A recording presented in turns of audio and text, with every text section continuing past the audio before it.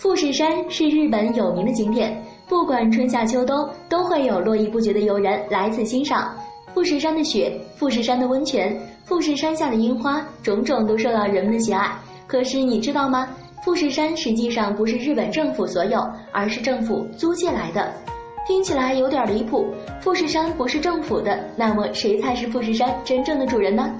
富士山是日本国家的象征之一，海拔最高的地方有三千七百七十六米，是日本最高的山峰。同时，它是一座活火山。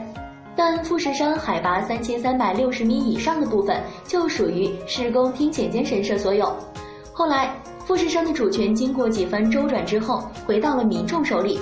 但富士山的所有权跟地标的意义依然还在政府手上。直到二零零四年，富士山终于回归到浅间神社手中。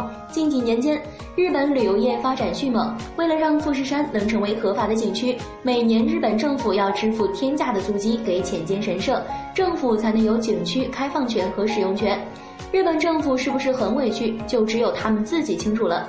不过，富士山属于活火山，随时都有可能喷发，后果不堪设想。对此你有什么看法？欢迎在下方评论哦。今天的节目就到这里了，喜欢的朋友记得关注、订阅我们哦。咱们下期再见，拜拜。